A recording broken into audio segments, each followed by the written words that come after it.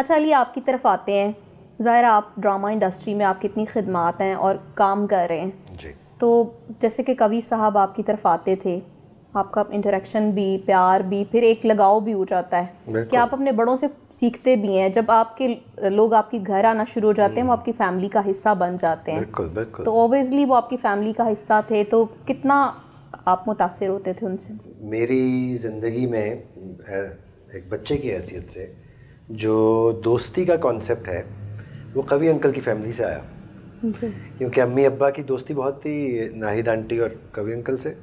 और उनके बच्चों की अ, उनके चार बच्चे हैं दो बेटियाँ दो बेटे उन चारों से इंतहाई लगाव था। कवि अंकल एक तो बड़े पॉजिटिव सोच के इंसान थे। मैंने आज तक उनके अ, उनके मुँह से किसी के बारे में कोई नेगेटिव बात नहीं सुनी जो कि बड़ी एक क्रेडिट की बात है। इसके अलावा कवि अंकल की कुछ और चीज़ें जो मैं देखता था प्रोफेशनली ख़ास तौर पे टाइम के इंतहाई पाबंद। अगर दो बजे उन्हें सेट पे बुलाया जाएगा तो वो एक पचपन पे आके बैठ जाएँगे।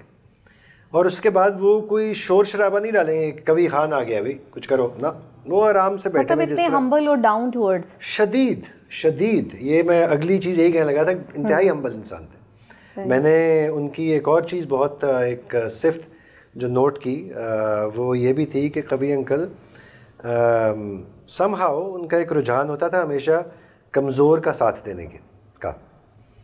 और ये एक बड़ी क्वालिटी होती है उसमें चाहे कोई माली तौर पे कमज़ोर हो उसको ज़रूर हेल्प करेंगे। अ, कोई आसाबी तौर पे कमज़ोर हो उसको हेल्प करेंगे उससे गुफ्तु करेंगे लंबे लंबे सेशंस करेंगे। अम, कोई बच्चा हो मतलब वो जिस्मानी तौर पे हमसे कमज़ोर है।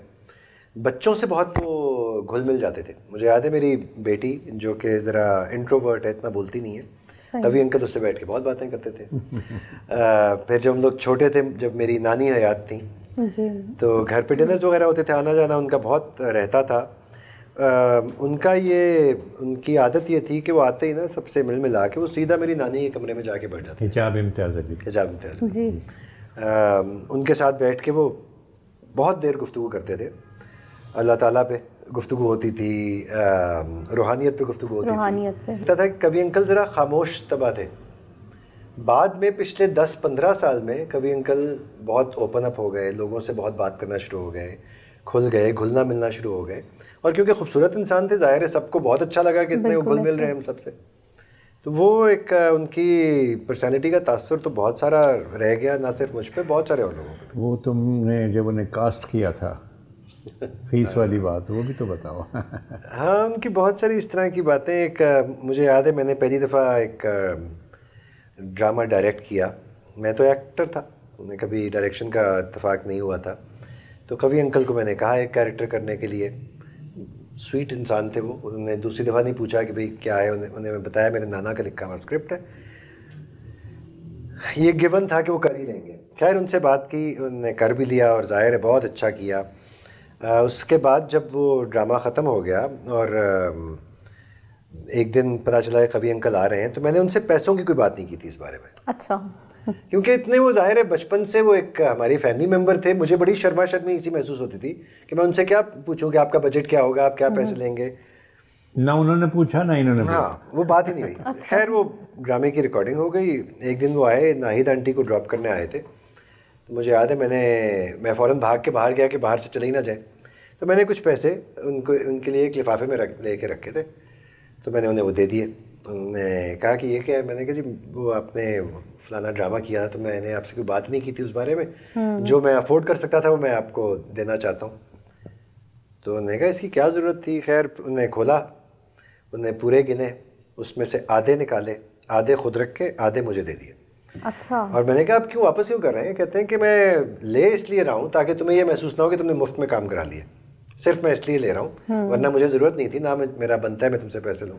और ये उनकी उनका सिर्फ़ प्यारापन था जिसकी वजह से हम लोग सब उदास होते हैं उनके लिए उनको याद करते हैं। इट्स ऑल अबाउट लक जो है वो बहुत काउंट करती है इस पे। अब वैसे हालात चेंज हो गए हैं। अब एक ज़माने में शो बिज़नेस में इतना पैसा नहीं था अब पैसा आ गया हुआ है। कवि अंकल की मुझे ख़ास तौर पे एक ये चीज़ बड़ी इंस्पायरिंग लगती रही कि एक ऐसे वक्त पे जब लोग सिर्फ़ शौक से ही काम कर रहे थे। उन्होंने अपनी पूरी ज़िंदगी का सेटअप जिस तरह लोग लोगों के पैसे भी वापस करना सारा इसी फ़ील्ड से कमा के उन्होंने दिया। हाँ। ऐसे ही है। जो कि उनकी एक स्ट्रेंथ यही से पता चलता है कि वो अपनी फ़ील्ड से अपने काम से कितने ज़्यादा मुखलिस थे। हंड्रेड परसेंट इस कदर मुखलिस थे। Oh. इंतहाई शौक काम का। एंड तक। मुझे मुझे नहीं याद पड़ता है कभी अंकल सेट पे कभी हों और वो जरा फीके तरीके से सीन कर दें। हमेशा इंतहाई इन्वॉल्व हाँ। क्वालिटी वर्क क्वालिटी वर्क बिल्कुल। मुझे इतफाक़ हुआ उन्हें डायरेक्ट करने का। और ज़ाहिर मेरे लिए बड़ा ऑनर था कि कभी अंकल ने know, माने हुए एक्टर हैं और उनको मैं डायरेक्ट कर रहा हूँ। मैंने उनके साथ जो चीज़ें की उसमें कुछ ट्रेजडीज़ थी कुछ कॉमेडीज़ थी कुछ सोशल इश्यूज़ पे चीज़ें थी। लेकिन एज एन एक्टर उनकी रेंज इतनी बड़ी थी जो कि बहुत कम एक्टर्स की होती है जो हर चीज़ को अच्छा अदा कर पाए। चाहे वो कॉमेडी है चाहे वो ट्रेजिडी है चाहे बहुत वर्सटाइल बहुत वर्सेटाइल थे। इसलिए ये भी उनकी एक अनोखी चीज़ थी कि उन्हें एक ऐसे टाइम पे पाकिस्तान में तवज्जो दी कैरेक्टर एक्टिंग की तरफ़ ना कि सिर्फ़ हीरो बन जाने की तरफ़। बिल्कुल ऐसे ही है। वरना अमूमन लोग जो मशहूर होते हैं वो होते हैं जो हीरो प्ले कर रहे हों या उसमें मशहूर हो जाए। कभी अंकल ने प्योरली अपनी कैरेक्टर एक्टिंग की बेसिस पे अपना नाम बताया है। मेरा ख्याल में हम सब के लिए बड़ी एक एम्पावरिंग फीलिंग है। हाँ, क्योंकि that is the model that I also follow कि कैरेक्टर एक्टर जो है वो उसकी लंबी उम्र रहती है प्रोफेशन में और ये चीज़ मुझे कवि अंकल से पार्शली मिली है बिल्कुल के कैरेक्टर एक्टिंग की क्या अहमियत है। बल्कि एक बार मेरी उनसे बात हो रही थी उनको मैंने कहा कि जिस तरह से आप रोब दबदबा वज़ादारी और जिस तरह मतलब एक्टिंग में आप जानदारी एक पैदा कर देते हैं बिल्कुल हकीकत के रंग भर देते हैं। तो कभी ऐसा भी हुआ कि अपनी ज़िंदगी में भी यूँ लगा कि जैसे मैं एक्ट ही कर रहा हूँ? तो उन्होंने मुझे कहा कि मैंने एक्टिंग को सेपरेट रखा और जब मैं सेट पर होता हूँ तो तब मैं एक्टर होता हूँ जब मैं घर पे होता हूँ तो एक आम इंसान होता हूँ और अगर कभी इनको मिक्स हो किया तो फिर ज़िंदगी नहीं चलेगी। बिल्कुल बहुत साफ़ बातें करते बिल्कुल थे। सही कह रहे हैं।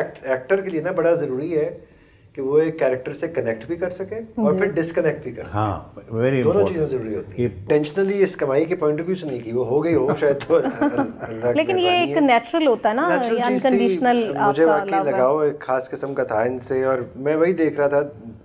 देखें आप अमेरिका में रहें पाकिस्तान में रहें दुबई में रहें कहीं भी रहें अगर आप काम अपना शौक से करते हैं अच्छी नीयत से करते हैं तो आपको हर जगह इज़्ज़त पैसा वगैरह बिल्कुल ऐसे ही है हर जगह पे आप जा सकते हैं। जी, जी। अच्छा तो अली आजकल क्या प्रोजेक्ट्स चल रहे हैं? आजकल एक ऑन एयर है एक सीरियल जो कि जिसका नाम कलंदर है वो चल रहा है। हाँ, उस लोग बहुत शौक से देख रहे हैं बहुत मैं भी ज़्यादा देखती हूँ। आप भी देख रही हैं। बाकी बहुत मुझे रिस्पांस मिल रही है और बड़ी मेहरबानी लोगों की लोग आके कहते हैं उसके बारे में।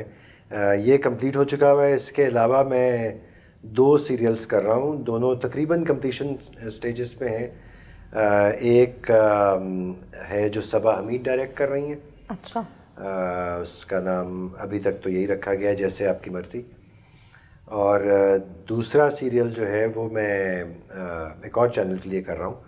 वो इस्लामाबाद में शूट हो रहा है। उसकी भी बड़ी इंटरेस्टिंग कहानी है।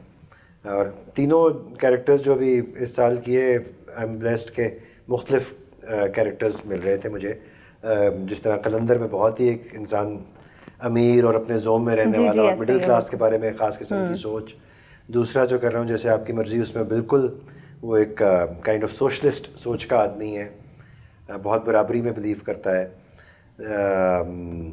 तीसरा जो है वो बहुत कन्वेंशनल सोच का आदमी है। तो वो कोशिश मेरी यही होती है कि मैं मनोटनस से ज़रा हट के काम करूँ। तो मेरे अपने लिए भी बेहतर रहता है मुझे भी सीखने का मौका मिलता है। तो ये तीन चीज़ें आजकल हो रही हुई हैं अभी पिछले एक साल में ख़ास तौर पर और अब जा रहे हैं हम लोग कुछ प्रोडक्शंस की तरफ़। अच्छा। तो उम्मीद है कि इस साल में हम लोग अपनी प्रोडक्शंस को दोबारा रिज्यूम करेंगे जो कुछ अरसे से हमने रोकी हुई थी। चलें बेस्ट विशेज़ आपके लिए।